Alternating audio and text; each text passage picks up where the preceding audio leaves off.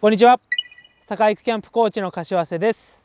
今回は初心者に多いドリブル中に顔が下がってしまうという悩みを改善するためのトレーニングを紹介します。はいそれではやってみましょう。このままボールを持って自由にドリブルをしてください。はいお願いします。でドリブルをしながら常にボールを触れる位置。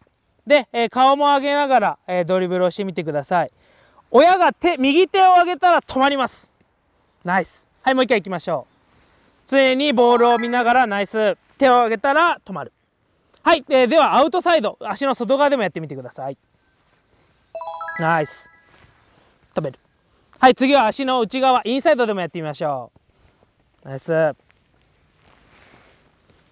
い足の裏でもやってみてください。いいですね。ボールが近いところにあります。顔もよく上がってて親のことをよく見てます。はい、えー、すごくよくできてるので今度右手を上げたら今まで通り上げたら止まります。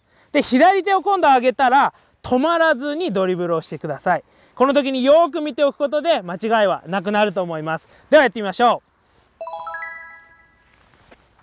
う。ナイス。わあよく見てますはい、えー、それでは最後に、えー、親はドリブルする場所を指定してあげることも、えー、すごくいいトレーニングになると思います。やってみましょう、えー、足の外側アウトサイド。ナイス。インサイド。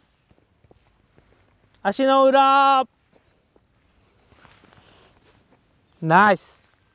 はいアウトサイド。はいインサイド。足の裏